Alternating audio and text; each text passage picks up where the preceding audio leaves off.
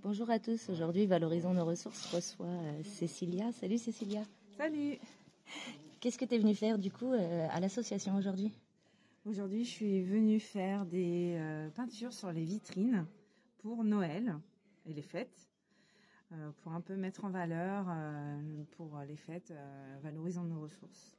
Ça marche, donc tu as pris voilà, une journée de ton temps. Aujourd'hui, on est le jeudi 11 novembre et euh, voilà, tu es venu passer euh, la journée avec nous euh, sur place pour décorer cette vitrine. Oui. Oui.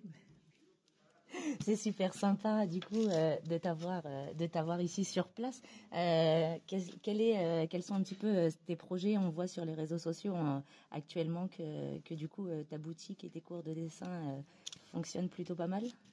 Oui, il y a ça. Et puis en même temps, euh, je travaille pour la pizzeria au fil de l'eau pour faire euh, euh, des, cadeaux qu'elle offrira pour ses clients. J'essaye de, faire plusieurs projets. Je vais aussi dans les centres aérés donner des cours de dessin aux enfants.